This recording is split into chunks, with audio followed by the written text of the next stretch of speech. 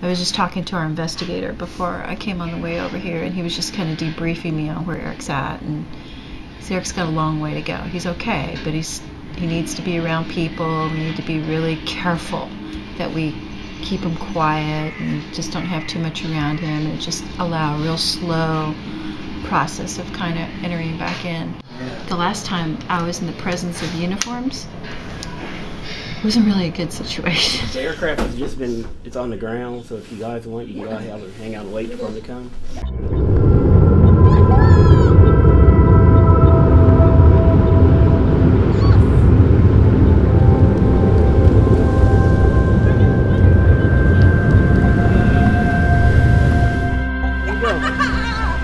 Oh my gosh! Oh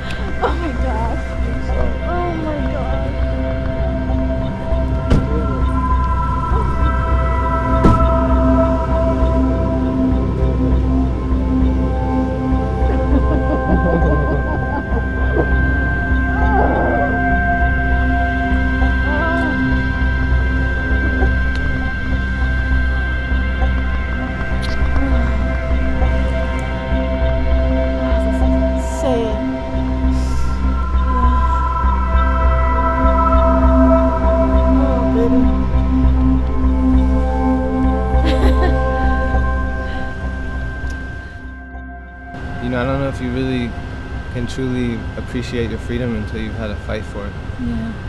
You know, and, and, and uh, in that sense, I feel really fortunate. But most of all, I feel really blessed. You know, it's, I got my mom's back. it's the best Christmas present ever.